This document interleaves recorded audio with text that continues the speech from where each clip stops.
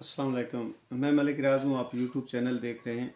आज डिस्कस कर रहे हैं हम कि हजूर नबी करीम अलैहिस्सलाम की आमन से पहले, जब हजूर नबी करीम अलैहिस्सलाम इस दुनिया में भी नहीं आए थे तो जो अरब के लोगों का अपने माशरे के पिस हुई लोगों के साथ रवैया था, वो किस तरह का था, उसको एक नज़र देख लेते हैं। कुरान करीम में अल्लाह ताला अरशाद फरमाता है कि तुम जो है यतीम की इज़्ज़त नहीं करते हो। तो हजूर नबी करीम सलाम की आमद से पहले यतीम लोगों को वो मकाम और वो इज़्ज़त नहीं दी जाती थी जिसके वो हकदार थे, बल्कि यतीम का माल खा खा लेने में और उनकी जो एसेट्स थे उनके ऊपर कब्ज़ा करने में उन्हें कोई हिचकिचाहट महसूस नहीं होती थी। हजूर नबी करीम सलाम की आमद से पहले जो अरब थे, उन पे ग़ुलाम जो थे जो मुलाजिम थे, ग़ुलाम उस वक्त ज़र ज़र खरीद ज़र खरीद ग़ुलाम हुआ करते थे, उनकी बाकायदा मंडियाँ लगती थी। जैसे कि हमारे यहाँ जानवरों की मंडियाँ लगती हैं या और जितनी भी चीज़ें अशाए खुरदनोश भी है, इसकी मंडियाँ लगती हैं तो गुलाम वहाँ पर ग़ुलामों की मंडियाँ लगती थी। जैसे यहाँ पर गाड़ियों पे लाद के लाते हैं जानवरों को और मंडियों में लेके जाते हैं तो वहाँ पर भी इसी तरीके से ग़ुलामों को लाद के ला के लेके जाते तो उस वक्त ट्रांसपोर्टेशन का सिस्टम कोई और होता था। नज़ारी बात ऊँटों के ऊपर या जैसे तैसे भी उनको लाद के उधर ग़ुलामों की मंडियाँ लगती थी बड़े बड़े लोग जाते थे, अमीर ज़्यादा जाते थे, वो जाकर अपने ग़ुलामों को एक ग़ुलाम के ऊपर सामान लाद के, उसके ऊपर वज़न लाद के उसकी पीठ के ऊपर, उसको चलाया जाता था कि जब ये इसके ऊपर वज़न लादा जाए तो ये किस रफ्तार से चलता है? जैसे आजकल हमारे यहाँ मंडियों में हम जाते हैं अक्सर हम ऑब्ज़र्व करते हैं कि उनको दांतों को चेक किया जाता है, उससे उसकी उम्र का अंदाज़ा लगाया जाता है, उसकी पीठ के ऊपर हाथ डालकर उसको चेक किया जाता है कि जो है ना, और उसको चलाया जाता है कि इसकी टांगें ठीक काम करती हैं या नहीं करती हैं। इसी तरीके से मुख्तलिफ़ अंदाज से चेक किया जाता है एक जानवर ख़रीदने से पहले। तो इंसानों को भी इसी तरीके से चेक किया जाता था। ये पसपाई थी ये जबोहाली थी, ये उस वक़्त माशरे के जो निचला तबका था, उसके ये हालात थे।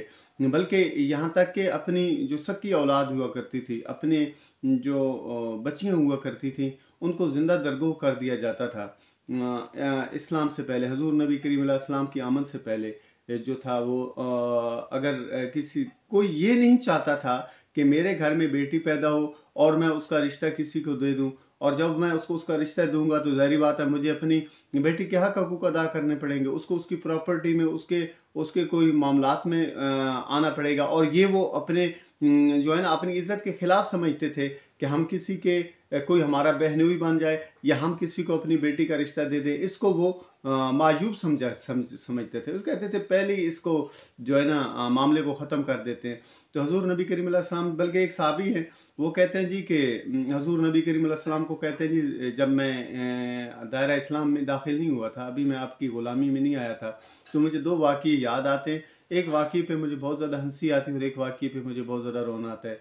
हँसी वाला वाक्य ऐसा है कि मैं किसी सफ़र के लिए निकला तो मैंने जो है ना, जहरी बात खुद, खुरदनोश साथ में ली और मैं बुतों का पुजारी था।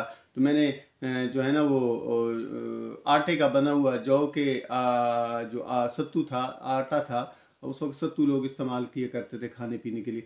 तो उसका जो है ना, मैंने बुत भी साथ में रख लिया ना, सामान के साथ, कि ये इसकी पूजा चाट किया करूँगा। तो रास्ते में जब भी मुझे मौका मिलता तो मैं उसकी पूजा चाट भी करता खाने पीने का सामान जो था वो भी मेरे साथ था खाना पीना भी चलता रहा। तो जब मैं सफ़र क्योंकि लंबा था तो जो मेरा चीज़ें थी खाने पीने की वो जब ख़त्म हुई। तो मुझे पहले तो मैंने सब्र किया लेकिन कुछ टाइम बाद मेरा सब्र का पैमाना लिबरेज हुआ भूख की शिद्दत ने मुझे तंग किया। तो मैंने वही जो बुत था जो आटे का बना हुआ था उसको मैंने पीसा आ, उसके ऊपर पत्थर के ऊपर पीस के रास्ते में जाते हुए तो उसको मैंने आटा बनाकर गूंद कर उसका मैंने जो है ना, खाना रोटी तैयार करके मैंने इस्तेमाल की। तो मुझे इस बात पे बड़ी ज़्यादा हँसी आई कि एक मेरा मबूद था।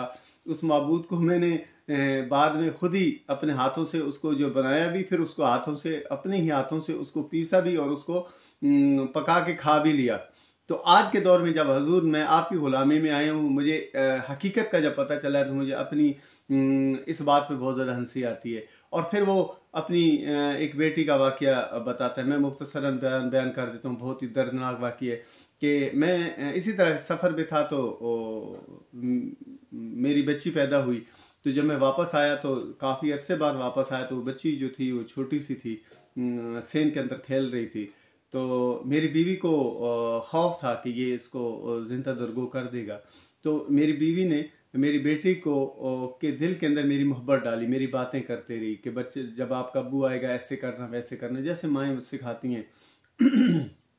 तो जो ही मैं घर में दाखिल हुआ तो बच्ची दौड़ के आई, मेरे कदमों से लिपट गई। उसकी ज़बान बड़ी तोतली सी थी और वो बहुत ज़्यादा प्यारी थी। उसने मेरे साथ लाड प्यार किया, मेरे साथ बहुत ज़्यादा प्यार किया, लेकिन मेरे दिल के अंदर रहम नहीं जागा। तो मैंने डिसाइड कर लिया कि मैंने इसको दफन करना है, ज़िंदा दरगो करना है। तो एक दिन मैं उसको ले गया पकड़ के। तो वो हँसी खुशी मेरे साथ चली चली गई। उस मासूम को क्या पता कि मेरे साथ आज क्या होने वाला है। तो मैंने जो है ना, वो उसको ज़िंदा दफन करने के लिए गड़ा खोदना शुरू किया। तो जब मैंने गड़ा खोदना शुरू किया तो जहरी बात है, मुझे पसीना भी आया, गर्मी होती है अरब में। तो जो है इससे वो आती और अपने दुपट्टे से अपनी चुनरिया से जो है ना वो मेरे पसीने को साफ़ करती और समझती कि मेरा अबू जो है ना वो थक गया, लेकिन उसको नहीं पता था। तो जैसे ही मैंने गड़ा कंप्लीट किया तो जब मैं बाहर आया तो वो मेरे पास दौड़ के आई, मेरे साथ लिपट गई कि मेरा अबू अब काम से फारे हो गया। लेकिन उसको नहीं पता था कि मैंने फिर उसको, उस मासूमा को उसी गड़े के अंदर धक्का दिया और फिर मट्टी डालना शुरू की।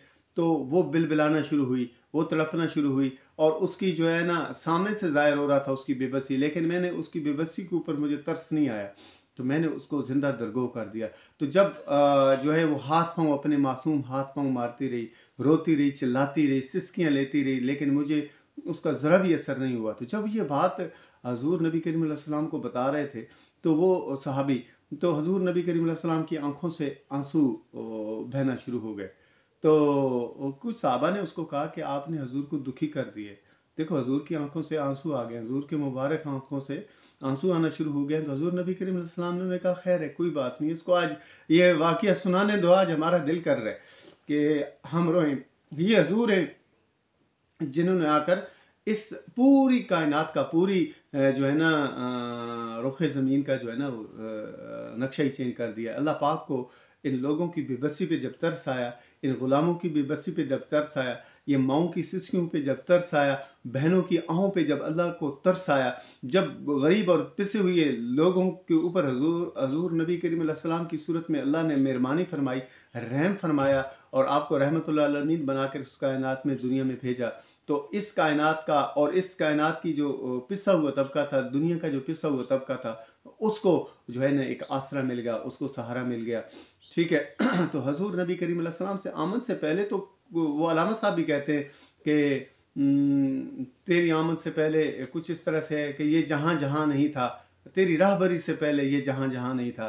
तो हजूर, आपकी राहबरी जब नहीं थी, जब आप हजूर इधर मौजूद नहीं थे तो ये तो दुनिया दुनिया ही नहीं थी। ये तो एक जंगल था और इस जंगल के अंदर वही बादशाह था, ये जो ताकतवर था और वो ताकतवर ही की तो बात चलती थी। हुई तब की तो बात ही नहीं चलती थी। हजूर, आप जब आए तो आपने ग़ुलामों को इज़्ज़त दी। हम तो ग़ुलामों को कहते थे, यार तुम मेरी मर्ज़ी के बगैर जो है ना मेरा जूता भी धूप से उठाकर छाव पे नहीं रख सकते। अगर कोई ऐसा कर देता तो, तो हम उसके ऊपर भी उसको सजा देते थे। ये तो अरब के और उस वक्त के माशरे को ओवरऑल माशरे की बात कर सिर्फ़ अरब ही नहीं ओवरऑल माशरे पे पूरी दुनिया का जो माशरा था उसकी ये पसपाई की हालत थी। तो हजूर जब आए तो हजूर ने जो है ना अपने ही ग़ुलाम को कहा ना जब कि बिलाल तुम क्या आ, अमल करते हो? कि मैं जन्नत में तेरे कदमों की जो है ना चाप को सुनता हूँ। तो पूरी दुनिया के लोग इस बात पे हैरान हो गए कि ये हजूर नबी करीम वसल्लम क्या कह रहे हैं? एक ग़ुलाम का इतना बड़ा रुतबा, एक ग़ुलाम को अल्लाह ने इतना ज़्यादा मकाम दिया।